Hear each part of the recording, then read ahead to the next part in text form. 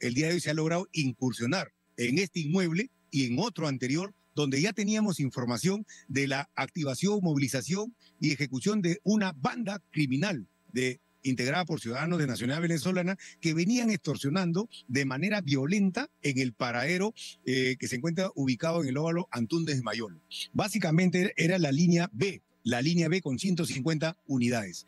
Pero yo quiero resaltar que este operativo básicamente se ha concretado, se ha materializado porque hemos tenido la participación activa de cuatro choferes, víctimas y agraviados de extorsión, que inmediatamente se pusieron en contacto con la policía y decidieron, señor, nosotros pues, necesitamos que la policía actúe. Y nosotros dijimos, nosotros estamos en la zona, tenemos el estado de emergencia. No, intercambiamos la información e inmediatamente incursionamos. ¿Y qué hemos encontrado? Armamento, encontramos los panfletos, encontramos explosivos, encontramos un, una agenda donde se encuentran los paraderos que ellos estaban consignando y hemos recibido los testimonios. ¿Cómo es que estos señores se movilizan en una motocicleta y en plena ruta interceptan el vehículo para aquellos que no han pagado exigirles dinero.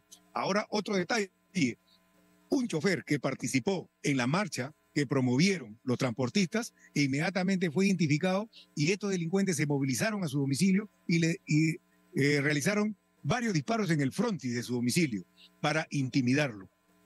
Entonces, ese es lo que ha pasado y este es el éxito de la operación inmediatamente.